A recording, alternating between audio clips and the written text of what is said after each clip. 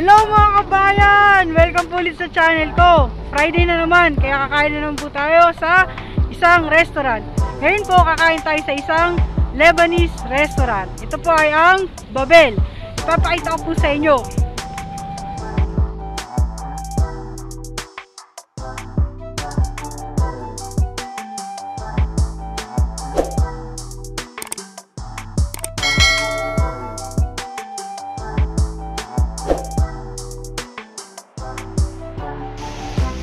Hello mga kabayan! Yan, nandito na po tayo sa Babel Restaurant. Pero full po sila ngayon, kaya nasa waiting list po kami. Meron po sila ditong smoking area at saka non-smoking area. Yan. Kukunin po nila yung number mo kapag available na yung table mo. Yan. Papakita ko po sa inyo yung loob.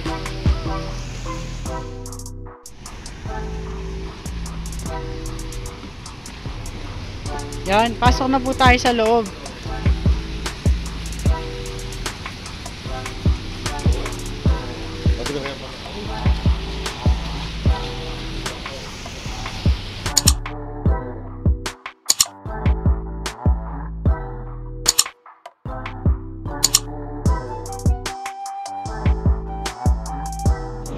Yan mga kabayan, nandito na po kami sa loob ng Babel. Naka-order na rin po kami.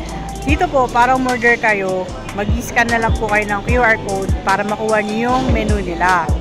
Yan. Tapos meron po silang complimentary nuts. Pakita ko po sa inyo.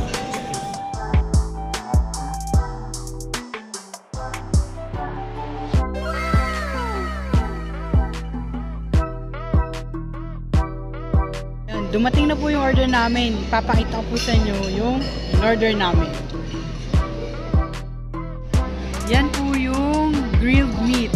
Ang gamit po nilang meat dito is yung veal. Ito po yung sausage. Ito po yung grape leaf. Meron po yung rice sa loob. Ito yung chicken shistawuk. And yung bread. Yan mga kabayan, kakain na po kami.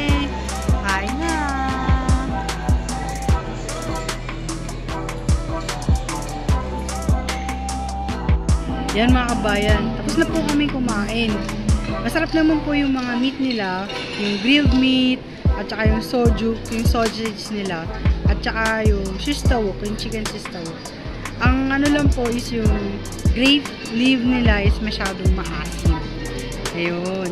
Tapos ngayon po, meron po silang complimentary na dessert. Papakita ko po sa inyo. Yan, ito po yung complimentary na fruits nila. Tapos, ito po yung gazlia na sweets nila. At saka ito is orange jam at saka fig jam. Ayan.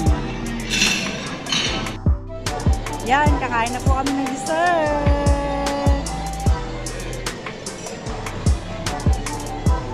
Yan mga kabayan, nandito na po kami sa labas ng Babel. Tapos na po kami kumain. Masarap po yung mga food nila. And masarap po yung gazleya na sweet nila. Yan. Para siyang may lasang pabango. Pero masarap. Yan. Nag-aantay na lang po kami sa service namin. Salamat sa panonood. See you on my next vlog. Bye!